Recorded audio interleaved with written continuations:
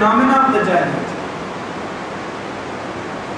نبی اکرم صلی اللہ علیہ وسلم کو ان کے اسوا کے اندر وہ کیسے ان چیزوں کو ویلیو دیتے تھے، ان کو سینٹیٹی دیتے تھے، ان کی تقدیس کرتے تھے، ان کا تقدس ہمارے سامنے بیان کرتے تھے، بڑے سے بڑا مادہ پرست نہیں کر سکتے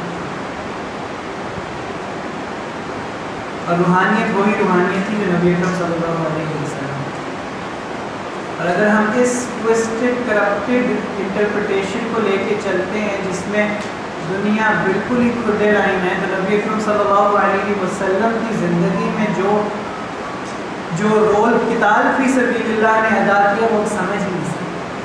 مدنی زندگی میں کیا ہوا، کیوں ہوا، ہمیں ٹکے کی سمجھ نہیں آ سکتی۔ کیونکہ بہرحال وہ دنیاوی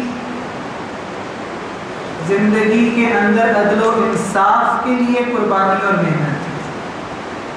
کہ یہاں پہ عدل و انصاف آئے۔ اسی دنیا میں، اسی گھٹیا کوٹ اینڈ کوٹ دنیا میں۔ اسی انفیریئر دنیا میں۔ تو اس معاملے کے اندر بھی مجھے نبی اکرم صلی اللہ علیہ وسلم کے عصبے میں سے جو رہنمائی ملتی ہے اور واقعتاً جب میں اس رہنمائی کی پیش نظر، جب میں یہ دیکھتا ہوں کہ قرآن اور سیرت نبی ان دنیاوی فنامنا کو کیا حیثیت، کیا لیول دیتے کہ قرآن اپنی حقانیت کی گواہی یہاں سے لے کے آتا ہے؟ بلکہ اس سے بھی بڑا دعویٰ کرتا ہے سنویہم آیاتنا فی الآفاق وفی انفسیم حتی یتبین لهم انہو الحق۔ کہ ہم ان قریب ان کو دکھا دیں گے۔ آفاق کے اندر furthest horizons وفی انفسهم and within themselves دکھا دیں گے۔ ایسی ایسی آیات دکھائیں گے۔ یعنی کہنے کو یہ مل رہا ہے کہ نبی صلی اللہ علیہ وسلم جب یہ آیات ان کو ان میں نازل ہوگی تب وہ آیات نہیں دکھائی گئی کچھ آیات ایسی بھی ہیں جو بعد میں آئیں گی۔ آفاق کے اندر ان کے اپنے اندر کہ ان پہ واضح ہو جائے گا یہی حق ہے۔ تو آفاق اور انفس کی جو آیات ابھی ہمارے سامنے ہیں، لیکن واقعتاً کیونکہ ہم ان کو صرف ایک آنکھ سے دیکھ رہے ہیں، پرکھ رہے ہیں، تو مطابق غرور کے علاوہ کیا ہے؟ جب ہم نے ان کو بت بنا لیا ہے، بجائے اس کے کہ وہ آیت بنتی جس آیت میں ہمیں نبی اکرم، ہمیں ہمیں اللہ سبحانہ تعالیٰ کی صفات نظر آتی۔ ہم نے ان کو ہی خدا بنا لیا ہے۔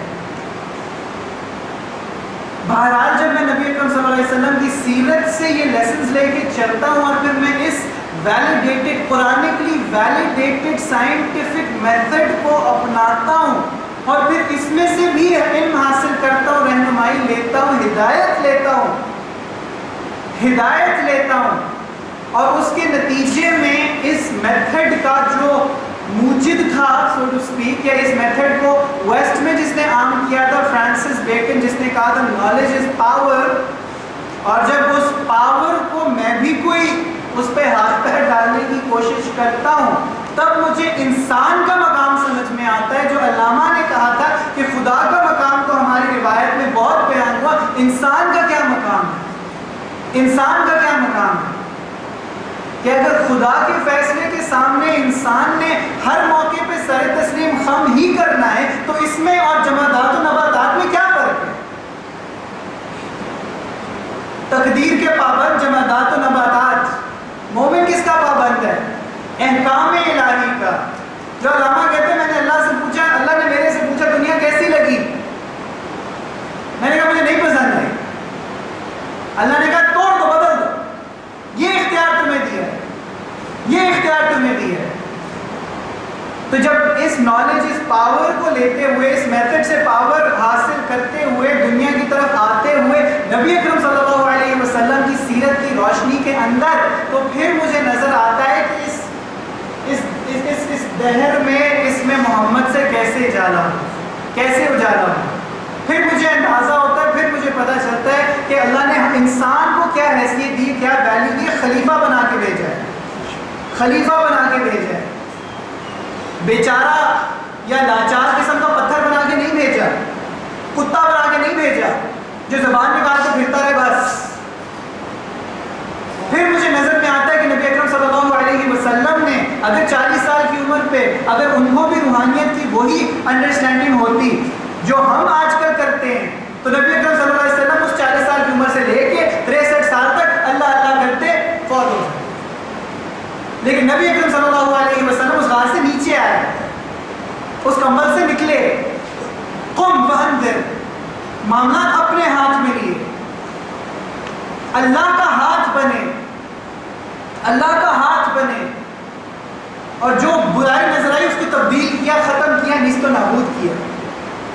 کہ حضرت ابراہیم نے جب بت توڑے تھے، تو گمان غالب یہی ہے کہ اگلے دن انہیں کفار نے وہ بت دوبارہ بنا دیے ہوں گے۔ لیکن جب نبی اکرم صلی اللہ علیہ وسلم نے کعبے کے اندر سے وہ بت ختم کیے، آج تک کسی کی جرت نہیں ہوئی دوبارہ اس میں کوئی بت لانے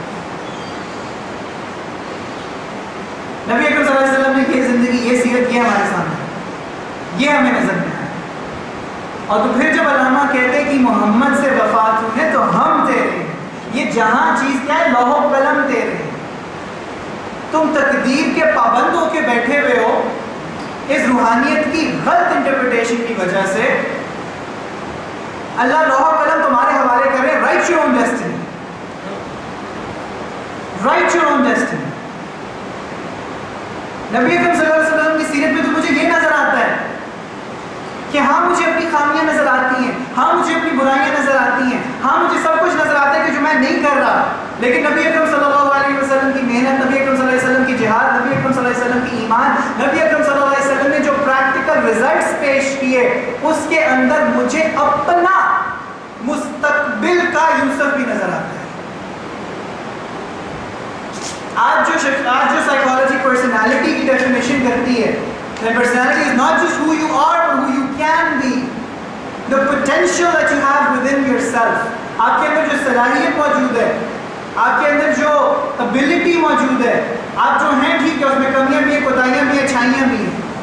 لیکن آپ کے اندر ان کمیوں کو کوتاہیوں سے بالاتر ہو کر آگے بڑھ کر اور بھی صلاحیتیں ہیں جو ابھی تک بروئے کار نہیں آئیں۔ مجھے نبی اکرم صلی اللہ علیہ وسلم کی سیرت کے اندر اس لیول کی صلاحیت نظر آتی ہے۔ اس لیول کی ابیلٹی نظر آتی ہے۔ وہ پوٹینشیل نظر آتا ہے کہ اگر انہوں نے انسان ہونے کی ناطے انسان ہونے کے باوجود یہ سب کچھ کیا، تو اسوہ حسنہ کی آیت، لقد کان لکم فی رسول اللہ اسوہ الحسنہ مجھے یہ بتاتی ہے کہ ہاں ابھی تو میں کمزور ہوں ابھی تو میں میرے اندر برائیاں خامیاں سب کچھ ہیں لیکن میرے اندر وہ پوٹینشیل بھی موجود ہے۔ میرے اندر وہ پوٹینشیل بھی موجود ہے۔ نبی اکرم صلی اللہ علیہ وسلم کی سیرت کو ایمیولیٹ کر میں وہاں تک جا سکتا ہوں۔ اگر علامہ یہاں تک فرماتے ہیں کہ لوح بھی تو، قلم بھی تو، تیرا وجود الکتاب۔ نبی اکرم صلی اللہ علیہ وسلم کو مخاطب کرتے ہیں۔ This he was انہوں نے نبی اکرم صلی اللہ علیہ وسلم نے جو انسانیت کی تاریخ بدلی، کسی اور انسان نے اس لیول کی نہیں بدلی۔ کسی اور انسان نے نہیں بدلی۔ اور یہ کیوں نہیں ہوگا؟ جب اللہ سبحانہ تعالیٰ خود فرماتے ہیں کہ تم بھی یہی چاہتے ہو، کیا تم بھی چاہتے ہو کہ تم بھی کوئی تبدیلی لے کے آؤ، تم کوئی اچھی کام اچھا کام کرو، تم بھی کوئی انسانیت کی خیر خواہی کرو؟ بحیثیت خلیفہ ہے اللہ۔ اللہ کے خلیفہ ہونے کی حیثیت سے تم نے تم بھی کچھ کرنا چاہتے ہو ان کنتم تحبون اللہ فاتبعونی۔ اے نبی صلی اللہ علیہ وسلم کو کہہ دیجیے کہ اگر تم واقعتاً اللہ سے محبت کے دعوے دار ہو، تو میری اتباع کرو۔ نبی اکرم صلی اللہ علیہ وسلم کی سیرت کے یہ دونوں پہلو، نبی اکرم صلی اللہ علیہ وسلم کی کردار کے، ان کے یہ سارے آسپیکٹس اپنے سامنے رکھتے ہوئے، ان کے نقش قدم پہ چلتے ہوئے جب کریں گے تو کیا ہوگا؟ یحببکم اللہ۔ اللہ تم سے محبت کرنے لگے گا۔ اور اللہ جب محبت کرتا ہے تو کیا ہوتا ہے؟ حدیث میں الفاظ آتے ہیں، جب انسان کوئی فرض کرتا ہے تو اللہ کے قریب ہو جاتا ہے۔ جب نوافل ادا کرتا ہے، وہ چیز جو اللہ نے کہی بھی نہیں کہ فرض بھی نہیں کی، واجب بھی نہیں کی، ان اعمال میں بھی جب ہوتا ہے تو اللہ سبحانہ تعالیٰ اس سے محبت کرنے لگتا ہے۔ اور جب محبت کرنے لگتا ہے تو اللہ اس کا ہاتھ بن جاتا ہے، جس سے وہ مارتا ہے، جس کو وہ چلاتا ہے۔ اللہ خود بن جاتا ہے۔ اب دیکھیں کی محمد سے وفا تمہیں تو ہم تیرے ہیں، یہ جہاں چیز کیا ہے، لاہور میں۔ کیونکہ اللہ کی محبت کا یہ ڈائریکٹ نتیجہ ہے۔ اللہ کی محبت حاصل کرنا سیرت نبوی صلی اللہ علیہ وسلم، اور وہ انکلوسیو ہے۔ اس میں وسعت ہے۔ اس میں وہ تنگ نظری نہیں ہے۔ جس تنگ نظری نے میرے ذہن میں، میرے دل میں شکوک و شبہات پیدا کر تو ہاں باسودے کی مریم والا ایمان میرے پاس نہیں ہے، نہ میں اس کو حاصل کر سکتا ہوں۔ لیکن ان شکوک و شبہات کی وجہ سے پیدا ہونے والے شکوے سے گزر کر ہی جواب شکوہ میں مجھے یہ چیز ملے گی کہ کی محمد سے اس کا جو لیول ہوگا، اس ایمان کا، جو ان آیات الہی، آیات الہیہ سے آئے گا جو آفاق میں، انفس میں گھری آیا، جو سائیکالوجی فزکس بایولوجی ان کے اوپر بیسڈ ہوگا۔ اس ایمان کی جو فیسنیشن ہے، نبی اکرم صلی اللہ علیہ وسلم کہتے ہیں کہ وہ ایمان عجیب ہے۔ اٹس فیسنیٹنگ سب سے زیادہ عجیب ایمان کس کا ہے یا رسول اللہ؟ نبی اکرم صلی اللہ علیہ وسلم سے پوچھتے ہیں، صحابہ سے۔ کہتے ہیں، یا رسول اللہ فرشتوں کا نبی اکرم صلی اس میں کون سی بڑی بات؟ وہ تو اللہ کے حضور ہوتے ہیں۔ کہتے ہیں، یا رسول اللہ، آپ کا ہمارے پہ تو وہی آتی ہے۔ کہتے ہیں ہمارا، ہمارے پاس تو میں ہوں۔ ان لوگوں کا جو بعد میں آئیں گے۔ جو اس کا تذکرہ ایک کتاب کے اندر پائیں گے۔ اور وہ کتاب مجھے آپ کو کیا بتاتی ہے؟ سنوریم آیاتنا فی الافاق وفی انفسنا حتی یتبین یہ کتاب یہ بتاتی ہے کہ ایک وقت آئے گا۔ ایک وقت آئے گا، بہرحال وہ وقت لانے کے لیے بھی ابھی ان راہوں پہ، ان فیلڈز کے اندر ان سائنسز کے اندر اندھیرا ہے۔ گمراہی ہے، اس میں کوئی شک نہیں۔ لیکن اس گمراہی کو اجالا کس نے کرنا کس نے کرنا ہر فیلڈ کے اندر جو آج کل ہے سائیکالوجی کے اندر جو بابے مانے جاتے ہیں، جو شیخ الشیوخ مانے جاتے ہیں، پرلے درجے کے دہریے ملحد ایتھیسٹ اور ان کی الہاد پہ مبنی سائیکالوجی عام کی جاتی ہے۔ لیکن بہرحال اسی وقت کے اندر، اسی دور میں، ہر فیلڈ کے اندر ایسے لوگ بھی موجود ہیں جن کی پیش کی گئی سائیکالوجی سے خدا کا تصور، دین کا تصور، رسالت کا تصور ماننا ناگزیر ہو جاتا ہے۔ تو ہاں فزکس میں بھی ایسے لوگ ہیں سائیکالوجی میں بھی ہیں بایولوجی بھی ہے میتھس میں بھی ہے لیکن وہ پاپولر نہیں ہے وہ جمہور ان کے مطابق نہیں چلتے، جمہور انہیں ملحدانہ تصورات پہ چلتے ہیں۔ تو ان افراد کو جن سے یہ آیت ہمیں سمجھ میں آتی ہے سنویم آیاتنا والی، سورت فصلت کی آخری سیکنڈ لاسٹ آیت۔ ان لوگوں کو جمہور کے لیول پہ کس نے لے کے آنا ہے؟ ان کو پاپولر کس نے کرنا ہے؟ ان کو عشق محمد سے صلی اللہ علیہ وسلم کس نے منور کرنا ہے؟ ان کو سائنٹیفکلی ایکسیپٹیبل کس نے کرنا ہے؟ ان کا ریلیشن شپ ریلیجن کے ساتھ کس نے لے کے آنا ہے؟ کس نے یہ ثابت کرنا ہے؟ کس نے یہ ثابت کرنا ہے؟ ہم کیا سمجھتے ہیں؟ نبی اکرم صلی اللہ علیہ وسلم کو مجنو صرف قریش کے کفار کہتے تھے۔ نبی اکرم صلی اللہ علیہ وسلم کو جنات کا مارا ہوا جادو آسیب کا کا مریض صرف اس ٹائم پہ لوگ کہتے تھے۔ نفسیات میں چوتھا سال ہے میرا، چھ مہینے بعد میں نفسیات کا ماہر نفسیات کہلاؤں گا۔ دعوے سے کہتا ہوں، جو نفسیات ہمیں پڑھائی جاتی ہے، اس کے اندر بھی اس کے علاوہ کوئی کنکلوژن پاسبل ہی نہیں ہے that he was a mental patient that's popular psychiatry that's popular psychology that that was those were symptoms of schizophrenia وہ کس کا کام ہے کہ دکھائے کہ نہیں This was not schizophrenia. یہ فنومینا بھی ریئل فنومینا ہے۔ انسان کی نفسیات کے اندر اس کے بھی امکانات موجود ہیں۔ کس نے کرنا ہمیں کارٹون نظر آ جاتے ہیں۔ ہمیں یہ بلاسفمی نہیں نظر آتی۔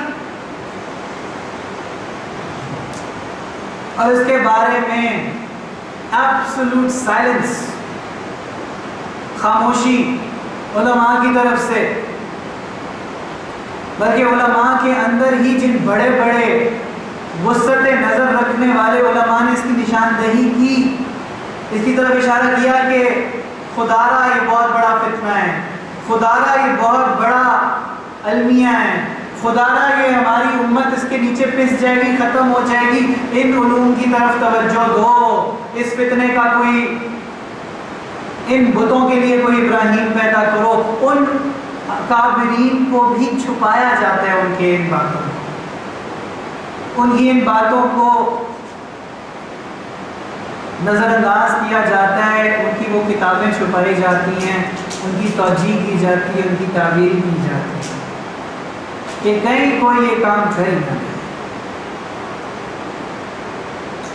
سلوشن کا ہمیں بہت زیادہ شوق ہوتا ہے۔ ہمیں حل چاہیے۔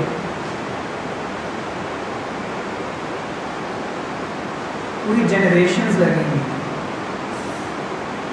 جن کے پڑھے لکھے افراد، ذہنی صلاحیت رکھنے والے افراد، ان تمام فیلڈز کے اندر اس میں محمد کو لے کے جائیں گے صلی اللہ علیہ وسلم۔ ڈاکٹر ہمارے پاس بہت ہیں۔ ایک پٹو چار کرتے ہیں۔ انجینئر بھی بہت ہیں۔ ڈاکٹر انجینئر اپنی ہی فیلڈ کی بنیاد میں جو فلسفہ ہے، اس کا ان کو پتہ نہیں ہوتا physics biology psychology philosophy sociology mathematics chemistry ان کے تھیوریٹیکل ڈائمینشنس کو کون اٹھائے گا اور دکھائے گا، یہ دیکھو۔ یہاں اللہ نظر آ رہا ہے۔ یہ علوم گواہی دے رہے ہیں۔ محمد الرسول اللہ۔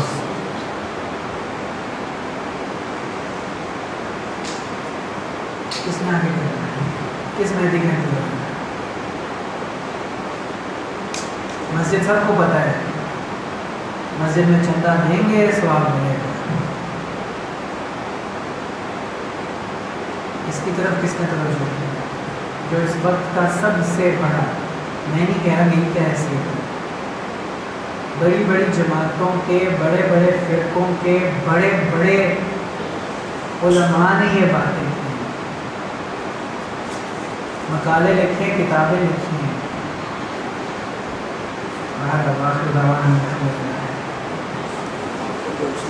دو منٹ ابھی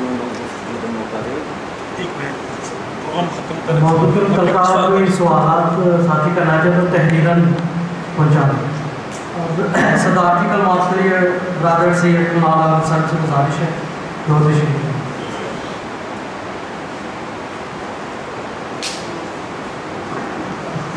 بسم اللہ الرحمن الرحیم۔ برادر ڈاکٹر یوسف رضا صاحب جناب اسد اجاز خان صاحب معزز حضرات خاتون السلام علیکم۔ اسوا حسنہ اور میں اور آج کے دور کو مد نظر رکھتے ہوئے اور آج کے دور کی فہم اور سوالات کو مد نظر رکھتے ہوئے ڈاکٹر صاحب نے اشارتاً بھی بہت سی باتیں اور بہت سی باتیں کھل کر اظہار فرمایا ہے۔ بجا طور پہ یہی اس وقت کی سوچ اور سوال ہے اور بجا طور پر ان سوالوں کے جواب تلاش کرنے کے لیے نسلوں کی محنت درکار ہے۔ اور یہ نسلوں کی محنت شروع تب ہوگی؟ جب ہم اس کے نقطۂ آغاز پہ پہنچے۔ ہیں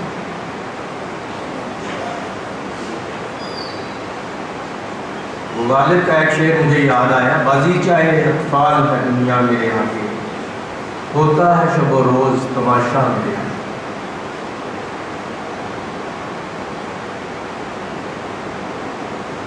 جب میں یا ہم یا میرا سیال کو، میرا محلہ، میرا ادارہ، میرا محکمہ، جب اس میں میں دیکھتا ہوں کہ کوتاہی کدھر ہوئی ہے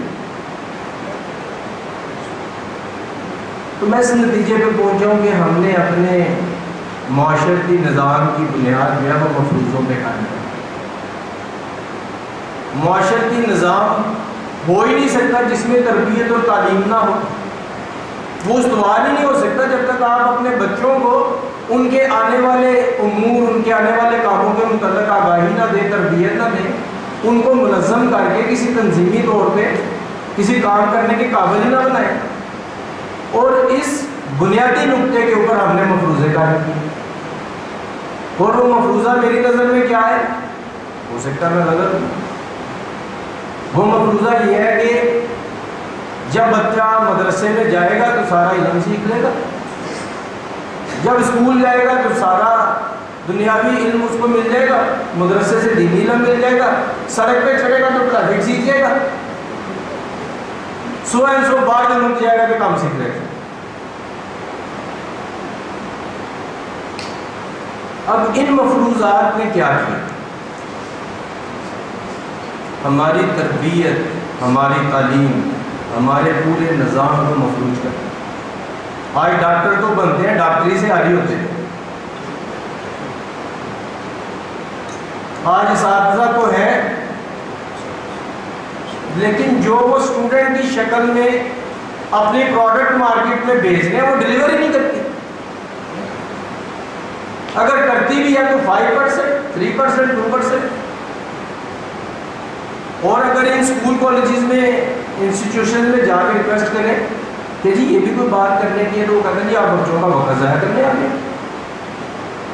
ان کو پڑھائیں فزکس کیمسٹری بایولوجی میتھ اور جب میں سوال کروں کہ یہ سب کچھ پڑھا کے ڈاکٹر فی سال کتنے بچے بنے؟ ایک فیصد بھی نہیں۔ تو جو نائنٹی نائن پرسینٹ بنتے ہیں وہ کیا ہیں، ان کے لیے کیا زیادہ راہ یہ ہمارے انسٹیٹیوشن دیکھ کے اس مسافت پہ بھیج رہے ہیں جو ساری عمر انہوں نے کرنی ہے اور ان کے بوئے کو پھر آنے والی نسلوں نے کاٹنا ہے خاموشی۔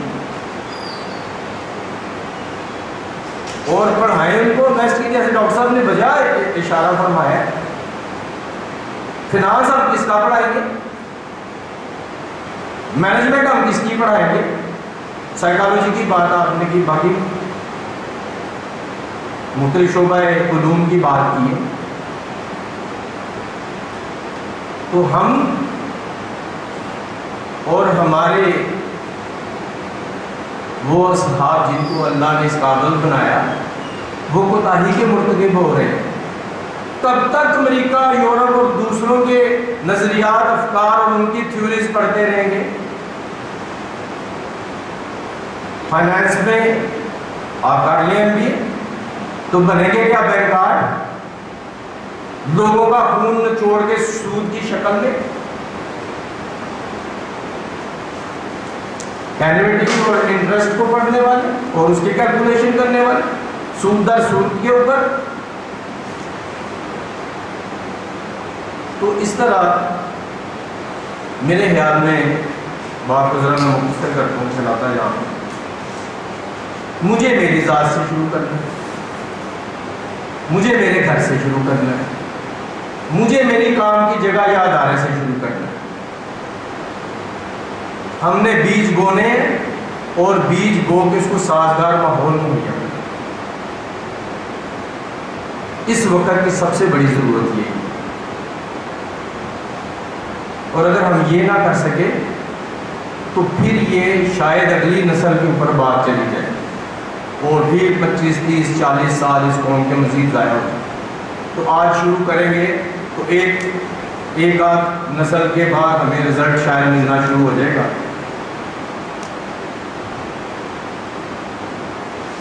اور نبی اکرم صلی اللہ علیہ وسلم، جن کے متعلق میں سوال پوچھتا ہوں، غلامی رسول میں تو جواب آتا ہے، موت بھی قبول ہے۔ میں تھوڑا سا ایڈ کرتا ہوں دوسروں کی۔ میری غلامی تو مجھے دس روپے کی رشوت چھوڑنے پہ آمادہ نہیں کرتی تو میں موت قبول کرنے چلا ہوں۔ ہاں دوسرا مرے گا تو تماشا ضرور دے نبی کے نام پہ دوسرے کو قتل کرنے کو ضرور تیار ہو اور جو میں دن رات اپنے نبی کے اپنے رب کی تعلیمات کو، حکموں کو توڑ کے، بیچ کے جو نبی کی انسلٹ کرتا ہوں، اس کے اوپر کوئی بات اس نہیں ہے۔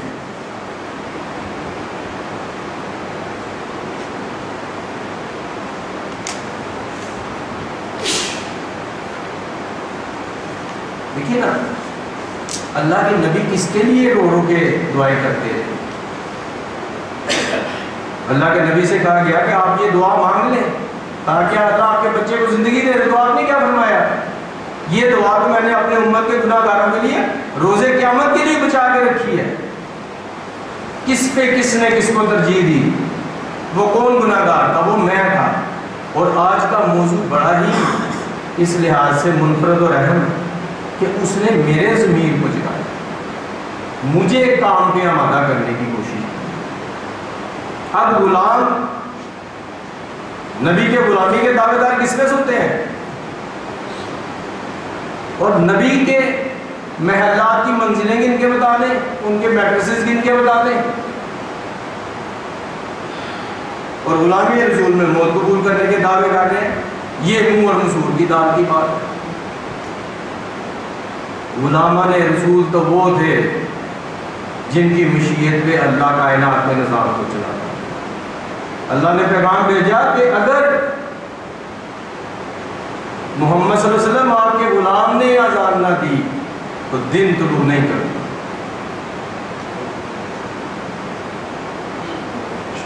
آخری بات آپ کے سامنے رکھ کے تو سوالوں جو آپ کی طرف چلتے ہیں۔ کوششیں معیار نہیں ہیں۔ ایفرٹس آر ناٹ میرٹ معیار رزلٹ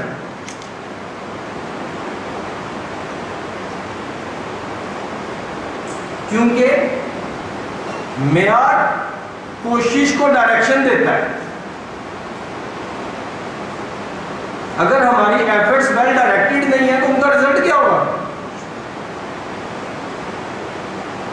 اسی بات کو قرآن بیان کرتا ہے، یا الذین آمنوا اتقوا اللہ حق تقاته ولا تموتن الا وانتم مسلمون۔ کہ جب تک تم مسلمان کی شکل میں مرتے نہیں، تمہاری ساری ایفرٹس بیکار ہیں۔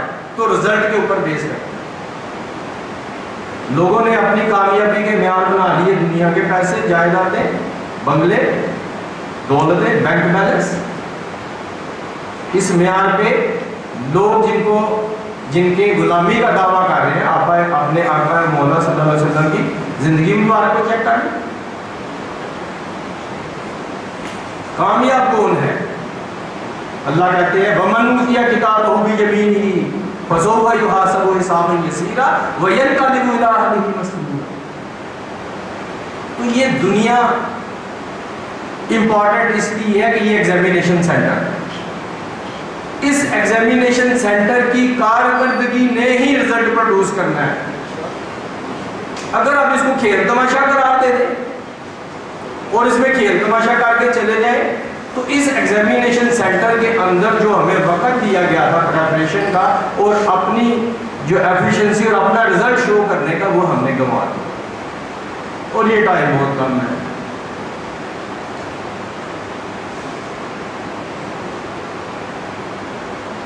ہم نے ذرائع کو منزل سمجھ لی۔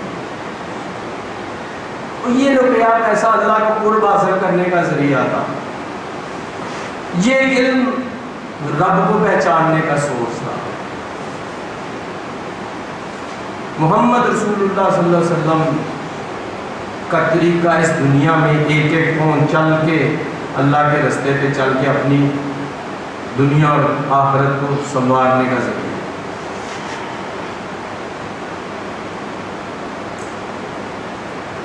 آخر میں میں اسد بھائی کا انکس فورم کا اور خاص طور پہ سیریس اسٹڈی سینٹر کا شکریہ ادا کرنا چاہتا ہوں ارغانیہ سیالکوٹ کی طرف سے کہ آپ نے وہ سازگار ماحول پیدا کرنے کی جو صحیح جمیدہ کی ہے۔ اللہ تعالیٰ اس میں کامیابی عطا فرمائے۔ اور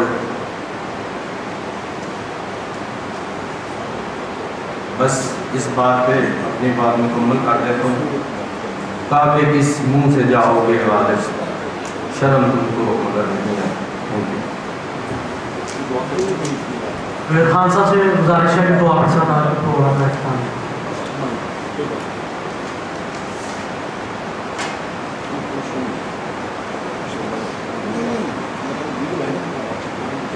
اللہ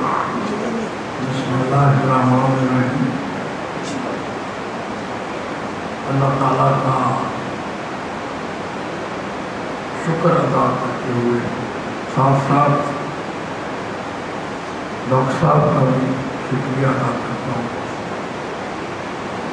کہ انہوں نے یہ وقت نکالا اور اتنی مکمل اور جامعہ بات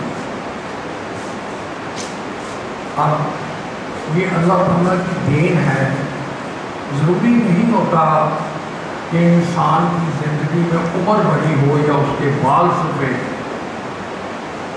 یہاں یہ بھی دیکھ لیں، عمر بھی کم ہے اور بال بھی سارے سیاہ ہیں۔ لیکن جتنے بھی ہم بیٹھے ہیں، انہوں نے محسوس کیا ہوگا، پوری طرح مجھے یقین ہے کہ رسول پاک صلی اللہ علیہ وسلم کی صحیح محبت اور اس پہ عمل کرنے کی ڈائریکشن جس طرح انہوں نے واضح کی، اس پہ میں ان کو مبارکباد انہوں نے کام ہی شروع کیا تو زید بن حارث سے، غلامی سے۔ انہوں نے بتایا کہ غلامی ہوتی کیا ہے جو آزادی سے بھی بڑھ جاتی ہے۔ اور ساتھ ساتھ یہ بھی بتایا کہ روحانیت اور مادی زندگی کا بیلنس ہونا چاہیے۔ میں نے کچھ زیادہ اس میں بات کرنا نہیں چاہتا، لیکن نیچے ہم نے سیرس اسٹڈی سینٹر کا جو مونوگرام بنایا ہے اس میں ہم نے بیلنس دکھایا ہے، ایک ترازو دکھایا ہے۔ ایک طرف حقوق اللہ اور دوسری طرف حقوق العباد یہی سارا وہ نقشہ ہے۔ جس کی نہایت خوبصورتی سے انہوں نے آج یہ بیان کیا کہ کون کہتا ہے کہ یہ دنیا بے مقصد ہے؟ کبھی اللہ تعالیٰ نے کوئی چیز جہاں بے مقصد نہیں بنائی۔ میں ان کو پھر ایک دفعہ مبارکباد دیتا ہوں کہ انہوں نے نہایت اعلیٰ طریقے سے روحانیت کو بھی ایکسپلین کیا اور مادیت کو بھی کیا۔ ہاں یہ ضرور ہے کہ صدیقیت میں پاکیزگی اور ایمانداری ہے۔ سیدنا عمر فاروق فاروقیت میں بہادری اور عدل ہے۔ حضرت سیدنا عثمان غنی میں سخاوت اور دولت کی ایک بہت بڑی بلیسنگ ہے اور حضرت علی کرم اللہ وجہ میں علم کی معراج ہے۔ جس طرح یہ چاروں کی چاروں چیزیں، چاروں کے چاروں خلفۂ راجدین ایک بہت بڑی گائیڈنس ہے۔ اسی کو ڈاکٹر صاحب نے پوری طرح ایکسپلین کیا۔ بتائیے، اگر دنیا کی کوئی ویلیو نہ ہوتی تو اتنے جہاز ہوتے۔ کیا اتنی زبردست جنگیں لڑی جاتی؟ یہ کیوں کیا گیا؟ صرف عدل و انصاف پیدا کرنے کے لیے۔ انسانوں کو اچھی اور خوبصورت زندگی دینے کے لیے، تاکہ وہ اس دنیا میں بھی کامیاب رہے اور آگے بھی کامیاب رہے میں اللہ تعالیٰ سے دعا کرتا ہوں کہ یا اللہ اس مرکز کو ہمیں توفیق دیجیے کہ رسول پاک صلی اللہ علیہ وسلم کی سچی غلامی کی طرف جائیں جہاں سب سے بڑا قرائے امتیاز عملی زندگی ہے۔ کیونکہ صرف اور صرف محبت کا دعویٰ کرنا یہ ہی کافی نہیں یہ ہے تو بڑی اعلیٰ چیز۔ لیکن جب اس کے ساتھ عمل ہو، یا اللہ پاک ہمیں عمل کی بھی توفیق دے اور اس ملک میں عدل و انصاف کو ایسا قائم کر دے کہ یہ صحیح معنوں میں ایک فلاحی اسلامی ریاست بن سکے۔ میں اپنے بھائی کمال سید کمال کو بھی بہت مبارکباد دیتا ہوں کہ جس طرح وہ ون ون ٹو ٹو کو چلا رہے ہیں یا اللہ ان کو اور بھی جزا دے۔ یہ ایک مثال قائم کر رہے ہیں۔ یہ بھی ہمارے لیے سیال کوٹ کے لیے بلیسنگ ہے۔ یہ ایک پہلا ریکارڈ ہے کہ اس مرکز میں باپ نے بھی صدارت کی ہو اور آج ان کے بیٹے نے بھی صدارت کی ہے۔ کیوں کی ہے؟ کہ ان کی وراثت میں خدمت ہے اور ان کے دل میں ایک جذبہ ہے۔ یہی جذبات یا اللہ ہم یہاں سے لے کے آگے کی طرف بڑھ رہے ہیں۔ یہاں دیکھیں کیسے کیسے لوگ ڈاکٹر یوسف کے روپ میں بھی آ رہے ہیں۔ آپ دیکھ لیں اس جوانی میں ان کی سوچ، ان کا علم، ان کی جو ایک طرز بیان اتنا اعلیٰ ہے۔ یا اللہ ہمیں بھی یہ جذبہ پیدا فرما۔ یا اللہ ہمیں توفیق دے کہ اس کام کو فکر فورم جس طرح لے کے چلا ہے اس کو اتنا بڑھایا جائے کہ یہ مرکز ایک مرکز ہدایت بن جائے۔ صلی اللہ تعالیٰ اللہ صلی وسلم ہی محمد علیہ وسلم۔ آپ ذرا